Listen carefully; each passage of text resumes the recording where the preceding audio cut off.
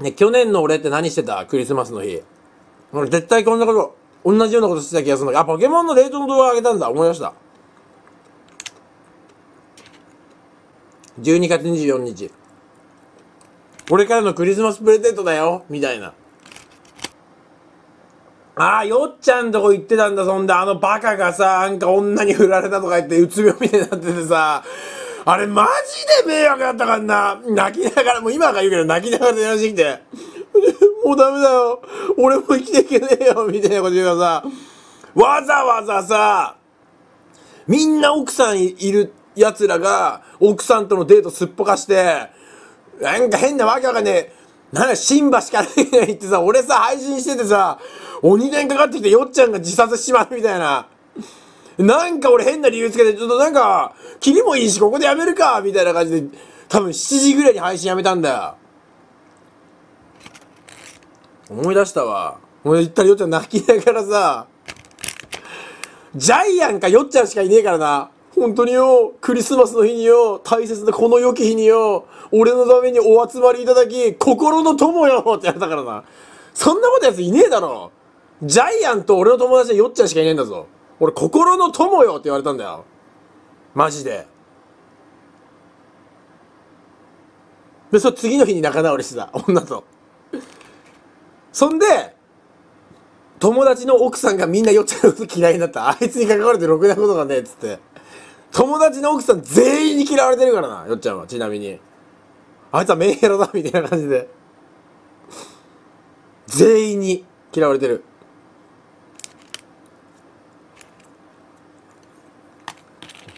あの子と遊んじゃいけませんって言われてんだよ。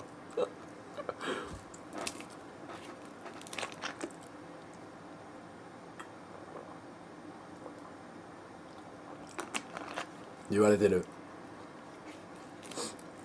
今。よっちゃん昨日お前の番組見らしたぞ。そのなんか公式前によっちゃんが連絡来て。なんか寂しいから電話してくれって電話 LINE かなんか来て。もう無理じゃんそんなの。で俺が今から公式出るからおめえこっちここ見ててくれっつって。言ってたわ。寂しいから寂しいからなんか電話してくれっつって。24件ぐらい。電話かかってきてたわ。婚活パーティーうまくいかなかったんだとよ。えだからさもう結婚できないんだからさ諦めればいいじゃん。なんでそんな抗うの？よっちゃん無理だよ。人格破綻者なんだから。無理なんだよ。無理なの。5万の婚活パーティー参加したらしい。マジで？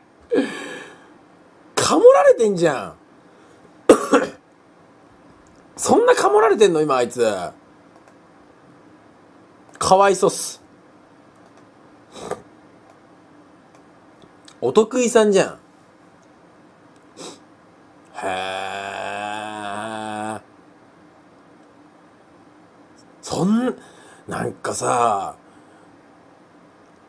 あのー、こんなこと言ったらさ婚活パーティー盲信してる人に申し訳ないんだけどさ日常生活送っててそういう出会いがなくて結婚できないような奴らが集まって来るパーティーにさなんで魅力は感じないと思うんだよな。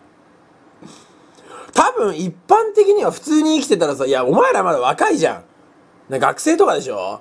社会出たらさなんか分相応のさ出会いって絶対にあるわけよ。どんなブスでも。だっておめえらのさ、父ちゃん母ちゃん見てみろよ。おめえらでブスじゃん。で、父ちゃんも母ちゃんも絶対ブスなのね。そのブス同士がちゃんと付き合って結婚してお前ら産んだわけじゃん。出来損ないの。12月24日にこんな配信見てるようなクズを産むわけじゃん。絶対みんなにもチャンスがあるわけよ。それで、婚活パーティーに参加してって、な俺なんかかわかんねえんだよな。婚活パーティーに参加してってあれこそなんかかもられてる気がしてならねえ婚活パーティーで出会って結婚しましたっていう人俺聞いたことねえんだよなまあちょっと恥ずかしいのかもしんねえなだから言ってないのかもしれない。友達の紹介でとかさ、そういうふうに言ってるのかもしれないけど。何なんだろうな。グラビア多いぞ。お前、騙されてるぞ、お前。騙されてるからやめろ。世に言う桜ってやつだ、それが。世に言う。違う、よっちゃん今、キャバクラ嬢にも見ついてるみたいで。あいつはよ、マジでいいやつなんだよ みたいな感じでさ、もうどうしようもねえんだよな。お前らに紹介してって言われて。すげえ、俺言っといた。すげえいいやつだなーっつって。完全にかもられてんだね。もう飯食わしてやってよ店行ってやってよつってそれ、俺だけにすげえ優しいんだよつってて。よっちゃんなんか人並みに恋愛してきてるはずなのにさ、ここに来て経験値がリセットされたらしい。ここに来て。ダブルクリームのセブンシュー食べます。はめられてる、今。本当だよ、食わせてやってて多分よっちゃんの10倍金稼いでるのに。初めて飯行った時よ、ご飯ごちそうしてくれてよっつって。完全にはめられてる罠に。わかりやすい罠にはめられてる。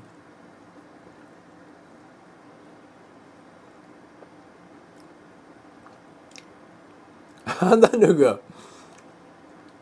恋愛依存症なんだよ本当に。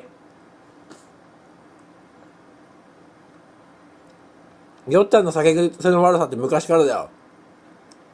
俺だってよっちゃんと一回酒飲んで家中なんかふざけて家中にしょんべん撒き散らされて3年間電話無視したことあるもん。あこいつダメだと思って。こいつ大人になるまで俺は連絡取れねえっつって。3年間無視したことあったもん。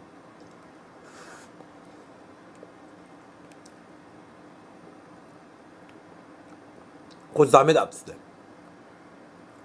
て。マジだって。あいつしょんべんすんだよ本当に。いやまっちゃんとかもするんだけどさちゃんと冗談で済む場所でしょんべんすんのね。よっちゃんベッドの上とかにわざとしたりすんのもうそれでもう頭きてマジで。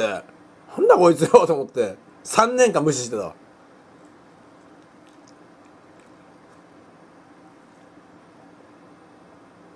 山手線のホームとかさ。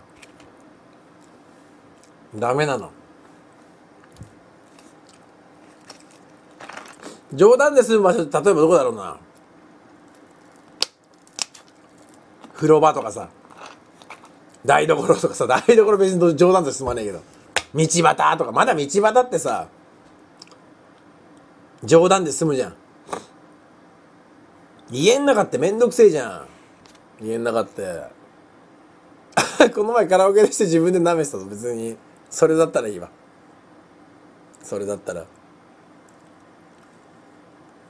墓以外は大体セーフだろう。ね墓に証明しちゃいけないの。なんで罰当たり的な意味合いでってこと。罰当たり的な意味合いでってこと。ズゾゾゾゾゾゾって吸ってた。へえよっちゃんがしょんべんした一番やばいところ教えて。やだから山手線のホームじゃない？あー、純ちゃん、おしっこが漏れちゃうっつってさ、ポコチンピョって出してさ、ビューって。あれ、おしっこしてたっていうか、おしっこ漏らしてただからな。半分なんかパンツにびっちゃびちゃになりながら。あー、漏れちゃったっつってた。で、財布なくしてさ、家帰れずになんか、茨城の先まで行っちまったとか言って。で、け、タクシー代が払えなくて、警察呼ばれて、お父さんに電話して、片道4時間かけて迎えに来てもらって、お金払ってもらって、で、仕事休んだらしい、その時は。やべえだろ。去年の話だからな、それが。ほんで、自分、俺警察に捕まんねえからってずーっと心配してたからな。なんかさ俺さ悪いこといっぱいしまったみてえでよ。喧嘩も売っちまったし悪いこといっぱいしまったみてえで警察に捕まんねえかなって心配してたわ。知らねえよっつってた。知らねえよっつって。この前補導されてた。なんで補導って中学生とかがさ夜何やってんだみたいな感じじゃないの？そういう感じじゃないの？歩道って何？中高生が深夜徘徊してて、や、やられることじゃないの？警察官突き飛ばしたじゃん。そうなんだ。よくわかんねえな、あいつら。公務って何ですか？じゃあ教えてやるよっつって連行されたんだ。へえ。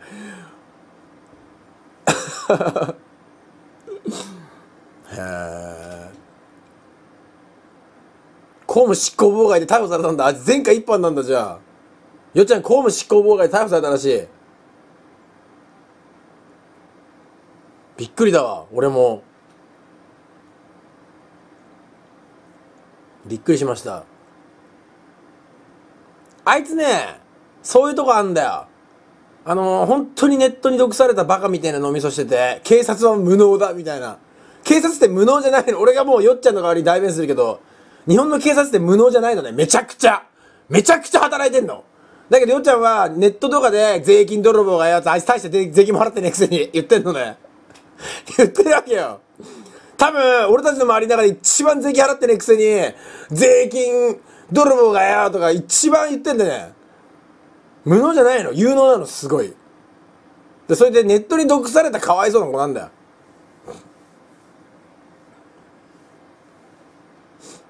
一生懸命働いてさ、ちゃんとだってよっちゃんみたいな、始末の悪いやつをね、脅したってことは有能じゃん。普通だったらさ、まあこんな酔っ払いのあれだかんな、つってさ、見過ごすところをちゃんとそうやって補導したってことは、もう見る目確かってことじゃん。